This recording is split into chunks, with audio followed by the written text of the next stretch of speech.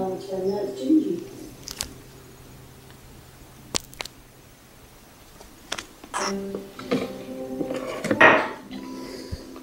Nope, she doesn't care.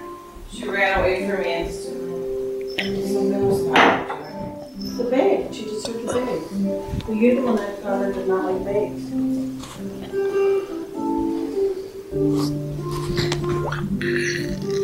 Oh, this was the Christmas tree one.